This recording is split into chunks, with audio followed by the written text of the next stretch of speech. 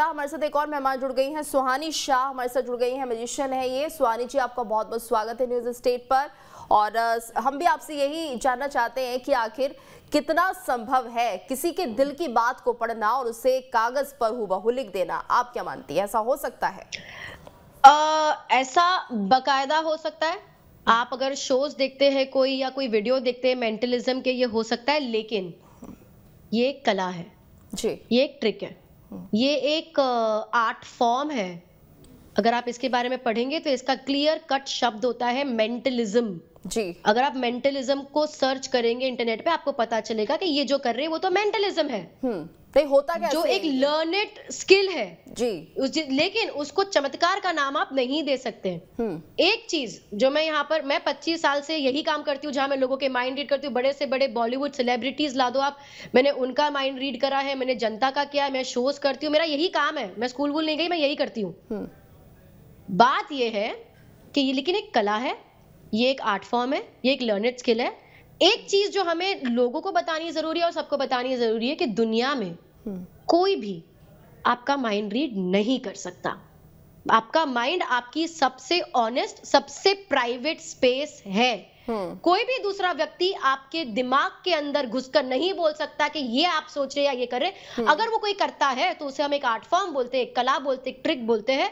और अगर कोई उसको बोल रहा है कि नहीं यार ये तो मेरे चमत्कार है या मैं किसी और मेरे में कोई शक्ति और मैं ये कर रहा हूँ तो वो गलत है हम्म। वो अंधविश्वास है वो झूठ है। नहीं तो ये किस तरीके से आ, कैसे समझा जा सकता है हमारे दर्शकों को जरा थोड़ा आसान तरीके से बताएँ कि आखिर ये संभव कैसे कोई व्यक्ति बैठा हुआ है उसके मन में पचास तरह की चीज़ें चल रही हैं हुबा हु वो हम्म। ही बातें कैसे लिखी जा सकती है ये कैसे होता होगा अगर आप अगर आपने मेरे कोई भी वीडियो देख लो आप इंटरनेट से उठाकर मतलब हम्म। हज़ार से ज़्यादा वीडियोस होंगे तो उसमें आप यही करते हुए देखेंगे कि कोई सोच रहा है और मैंने बता दिया कि वो क्या सोच रहा है या मैंने उसको लिख दिया या बता दिया या किसी भी तरह हम बता सकते बिना लिखे भी बता सकते हैं बिना देखे भी बता सकते हैं हम्म। वो सब होता है आपका जो सवाल है कि ये कैसे होता है जी ये एक बहुत ही इंटरेस्टिंग क्वेश्चन है जहाँ पर हर जादूगर आके फंस जाएगा हम्म। क्योंकि अगर हमने बताया कि वो वो कैसे करते हैं हम्म। तो हम ये भी बताएँगे कि हम कैसे करते हैं। और हम ये भी बताएँगे कि दुनिया में हर जादूगर वो कैसे करता है। हाँ। और हम जो ये दुनिया की कला है हम्म। उसको हम एक झटके में खत्म कर देंगे। हम्म। जो हम कर नहीं सकते। तो आप बताएँगे नहीं। और इसी कमज़ोरी का फ़ायदा उठा लेते हैं लोग हम्म। क्योंकि जादू एक ऐसी कला है जो पूरी बसी ही है उसकी सीक्रेसी पे उसके रहस्य पे। और कोई भी जादू अगर मुझे बताना है कि वो सही है तो भी मुझे करके बताना पड़ेगा। और मैं बता रही हूँ कि वो गलत है तो मुझे सही करके बताना पड़ेगा। और ये रहस्य का लोग फ़ायदा उठा के जो जादू कला है हम्म। उसको अलग रूप में ले लेते हैं उसको बता देते कि चमत्कार है या ये है या ये जो भी है और मैं ये खाली एक ऐसा भी नहीं बोल रही कि मैं एक ही रिलीजन के ये एक ही व्यक्ति करते ये तो एक व्यक्ति हम्म। हमारे सामने भी हम बात कर रहे हैं हम्म। धीरेन्द्र शास्त्री जी की हम बात कर रहे हैं अभी ऐसे बहुत से लोग हैं हमारे देश में और दुनिया भर में अलग अलग रिलीजन के ऐसे बहुत से लोग हैं जो। मैजिक को अलग रूप में लेकर गए और चमत्कारिक बताते हैं जो वो गलत है। हम भी अगर शोज़ करते हैं जहाँ पर मेरे आप शो में आएँगे तो मैं सब बताती कि आप यहाँ पर बैठे हो आप इसके बारे में सोच रहे हो आप अपने बच्चे के बारे में सोच रहे हो मैं ऐसा पूरा दस मिनट तक लोगों के मन में क्या चल रहा है बताती रहती हूँ। हम्म। लेकिन मेरे शो का पहला लाएँगे कि आई डोंट रीड माइंड्स मैं माइंड नहीं रीड करती मैं खाली एक एल्यूजन देती हूँ माइंड रीड करने का क्योंकि ये कला इतनी खूबसूरत है हम्म। ये कला इतनी इंटेलिजेंट और आपको एक कला को एंजॉय करना चाहिए। तो स्वानी जी ऐसा हो सकता है कोई डेमो आप दे सकती हैं दर्शकों को किसी तरीके से? आ, मैं आप चलिए मैं करती हूँ मैं जस्ट अभी इधर आई हूँ सीधा ऑन किया है मैं कर, बताती हूँ कुछ आपको। ठीक है बताइएगा। तो कौशिक जी आपसे भी मैं ये सवाल करना चाहती हूँ कि जिस तरह से हम देखते हैं कि इसे चमत्कार का नाम तो दे दिया जाता है लेकिन हम यहाँ पर देखते हैं इस दरबार में कई लोग ऐसे हैं जो हमें झूमते हुए दिखाई देते हैं नाचते हुए दिखाई देते हैं। उन्हें हम कैसे समझे? क्योंकि कथावाचक तो बहुत सारे हैं कथाएँ सुनाते भी हैं लेकिन जब दरबार लगता है तो यहाँ पर तो दृश्य कुछ और ही होते हैं। तो उन बातों को हम कैसे समझे? वो क्या होता है?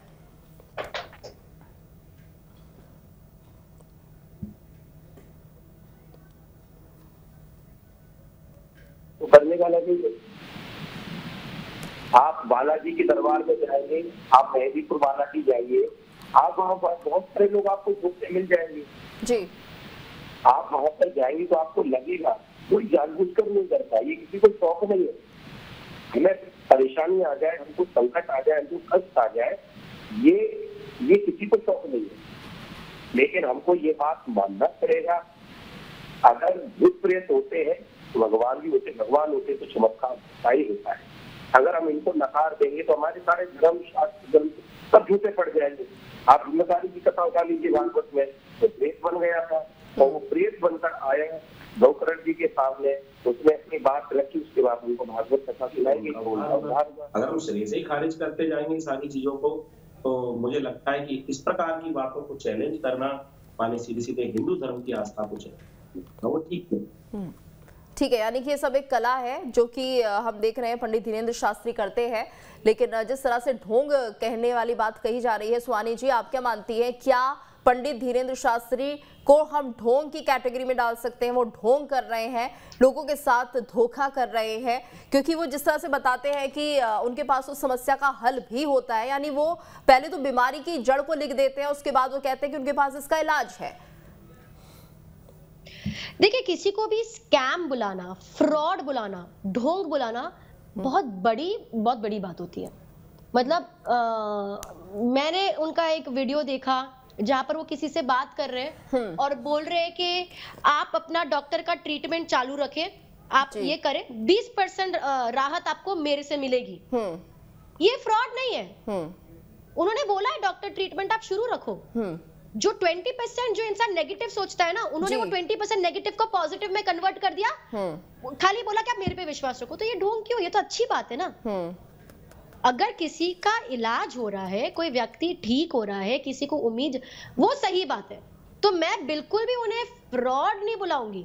क्योंकि अगर लाखों लोग विश्वास करें तो वो लोग में ऐसा नहीं है कि समझ नहीं है कि इतने लोग उन पे विश्वास कर रहे हैं। हम्म। ढोंग नहीं है स्कैम नहीं है अच्छा सुहानी सुहानी बताइए। वो बहुत अच्छा बोलते भी है। जी हाँ अच्छा बोलते हैं। ये ये हमने भी उन्हें सुना है कई बार। लेकिन जब वो ये न्यूज़ स्टेट पर भी बोले हैं। सुहानी जी एक बात बताइए कि आ, किस तरह से जब उनके सामने कोई बैठता होगा क्या आ, क्या उनकी मनोस्थिति रहती होगी? और जब वो जवाब देते होंगे क्या सोच लेते होंगे? क्योंकि कहीं ना कहीं दावा तो ये किया जाता है कि भगवान हनुमान की कृपा उनके ऊपर है और जब वो दरबार में बैठते हैं तभी ये उनसे संभव हो पाता है। अगर वाकई उनको ये कला आती है तो वो जब दरबार में नहीं होते तब क्यों नहीं बता पाते? जैसे कि वो खुद कहते हैं कि मैं नहीं बता पाऊँगा मैं कुछ नहीं जानता एग्जैक्टली exactly. हम्म। यही तो मेरा भी सवाल है कि क्यों नहीं बता पाते अगर वो जैसा उनका कहना है कि भाई उनपे उन्होंने बहुत आ, क्या बोलते हैं परिश्रम किया है उन्होंने बहुत सेवा करी है हम्म। और इसलिए उनपे हनुमान जी का आशीर्वाद है इसलिए उनके द्वारा हम्म। हनुमान जी के द्वारा ये सब हो रहा है तो तो हर वक्त होना चाहिए ऐसा तो नहीं कि टाइमिंग होता है कि उसी वक्त कृपा आती है उनके ऊपर भी कि इतने दो घंटे में आने वाला है चार घंटे में कभी भी होना चाहिए ना इसलिए मैं बोलती हूँ कि वो एक कला है ठीक है ठीक है स्वानी जी। आ, तो थोड़ा सा हमारे दर्शकों को जरा मदद कीजिए क्योंकि बहुत सारे भक्त हैं यहाँ पर पंडित धीरेन्द्र शास्त्री के जो कि कुछ ये जो समझे कि आखिर उनके साथ होता क्या है। थोड़ी सी कोशिश कीजिए हमारे दर्शकों को समझाने की। चौक दे दे मुझे। ठीक है। यहाँ पर आ, आप एक सेकंड मैं चाहती हूँ कि कोई सवाल मनीषा जी यहाँ पर है। जी। मनीषा जी को मैं कभी मिली नहीं पर मैं चाहती हूँ कि आप ही से आप ही के साथ कर लेते हैं। मनीषा जी मैं चाहती हूँ कि आप हमारे जो इतनी खूबसूरत सी एंकर जी यहाँ बैठी है उनसे कोई भी एक सवाल पूछ लीजिए। ऐसा कुछ सवाल कि आपको लगे कि जवाब सुहानी को तो पता हो ही नहीं सकता। हाँ जी एंकर जी। हाँ? जी जी पूछिए पूछिए। तो, डेमो चल रही है हम्म। इस समय इस समय क्या आप डिबेट को विन करवाना चाहती हैं कि अवेयरनेस क्रिएट करना चाहती हैं? अरे बाप रे। ऐसा माइंड सवाल मैं, मैं इसका जवाब के लिए माइंड रीडर होना ज़रूरी नहीं क्योंकि मैं तो मानती हूँ कि ये अवेयरनेस ही क्रिएट करवा रहे हैं। लेकिन मैं मैं मैं एक सवाल पूछ लेती हूँ मैं एक सवाल पूछ लेती हूँ। मैं चाहती हूँ अभी आप अपने मन में हम्म। जैसे धीरेन्द्र जी कहते हैं आप कुछ भी अपने मन में या तो कोई आपत्ति जो आपके लाइफ में कोई प्रॉब्लम है उसके बारे में सोच सकते हैं कोई व्यक्ति के बारे में सोच सकते हैं। अगर आपके मन में कोई गाना है तो गाने के बारे में सोच सकते हैं। चलिए कोई व्यक्ति you are thinking about a person जी। मैं चाहती हूँ इस व्यक्ति के बारे में आप मन में बस सोचते रहे। आ, किसी भी तरह ये मुमकिन तो है नहीं कि मुझे पता हो कि आप किसके बारे में सोच रहे हो करेक्ट हम्म। आप चाहे तो मन में दो तीन बार वो नाम बदल दीजिए जिसके बारे में आप नाम सोच रहे हो जिसका। ठीक है। मैं ये इसलिए यूज़ करी ताकि क्लियरली दिखाई दे। आपने सोच लिया मन में तीन चार बार तीन चार लोगों के नाम लाकर आप एक नाम पे फिक्स हो जाइए। किसी का भी नाम हो सकता है कुछ भी चीज़ आप सोच हम्म, सकते हैं किसी हीरो हीरोइन सोच सकते हैं गाना सोच लो कुछ भी। हम्म। मैं चाहती हूँ मन में आप ये नाम बार बार दोहराते रहिए। नहीं नहीं आप थोड़ा सीरियसली करिए। देखो आप मज़ाक में ले रहे हो। नहीं नहीं नहीं नहीं मैं सीरियसली कर रही हूँ। कर रही हूँ आपको सीरियसली करना ज़रूरी है। हम्म, देखो जो उधर भक्त आते हैं वो बहुत सीरियसली करते हैं। आपको भी थोड़ा सीरियस होना पड़ेगा। मैं चाहती हूँ हम्म, आप अपनी आँखें बंद करें। जी। इमेजिन करिए कि आपके सामने एक बड़ा सा बोर्ड है जैसे मेरे हाथ में एक बोर्ड है चौक बोर्ड है। हम्म। मैं चाहती हूँ आप वो नाम का एक एक अक्षर ऐसा सोचिए कि आप उस बोर्ड पे लिख रहे हैं। जी ठीक है। पहला अक्षर लिखिए। लिख दिया। दूसरा। ठीक है। तीसरा। लिख दिया है। पूरा नाम लिख दीजिए। हम्म, सरनेम नहीं खाली फ़र्स्ट नेम लिखना है आपको। ठीक है ठीक है लिख दिया। ओके आप आगे बोल दीजिए मैंने चौक रख दिए हम्म बताइए। मेरे को एग्जैक्ट स्पेलिंग शायद क्लियर ना भी हो पर मेरे को नाम समझ पड़ा आप जो बोल रहे हो। हम्म। ठीक है? पहली बात किसी भी तरह मुमकिन नहीं है मैं आपसे पहले आज के पहले कभी मिली नहीं हूँ ये मुझे कभी बता नहीं सकता कोई हो नहीं सकता करेक्ट जी जी बिल्कुल। ठीक है। क्या नाम सोच रहे हो आप? नहीं ये तो आप बताएँगे। मेरे तीन मैंने तो रख दिया मैंने तो यहाँ पे लिख दिया। मेरे तीन गिनने पर आप नाम बताएँगे और मैं बोर्ड उल्टा करूँगी। एक साथ करते हैं। हम्म। वन टू थ्री क्या नाम सोच रहे राधा। राधा। और ये किसी भी तरह मुझे पता चले वो मुमकिन नहीं है। हम्म। राधा।